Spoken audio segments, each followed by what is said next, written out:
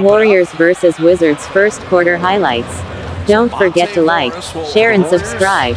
Thank you for watching. Game in the fourth quarter because that's when the tension really going to start to build at Chase Center. Kristaps Porzingis putting it up and in motion. Draymond attacking. Now it's good. Porzingis now that he's healthy. They just need their big three to be healthy. Now Kyle Kuzma's out, but when they're on the court together, they play really well. Score teams. Morris out to Beal, little sidestep. Daniel Gafford back out to Morris. He bottoms of.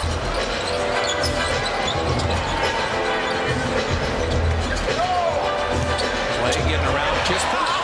Laying it up and out, but Looney got Play terminated the dribble. Looney with the shot clock at five. Two men jump and play. Tough fading. Here comes the Draymond Express pulling into the station. The left up.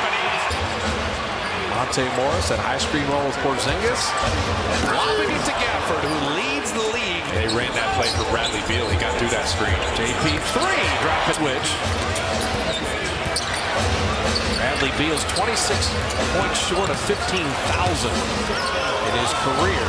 Porzingis is 7'3", 240. The unicorn is tough to cover.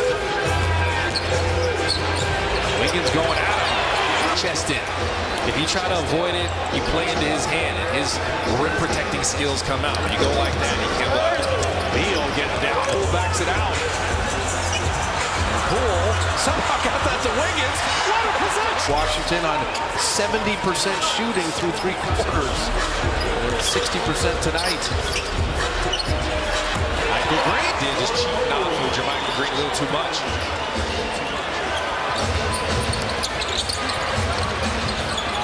Bradley Into a triple.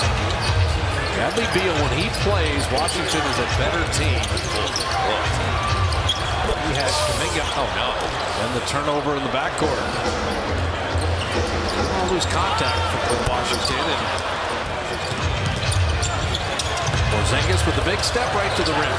That's a good decision. In their last game, shooting 70%.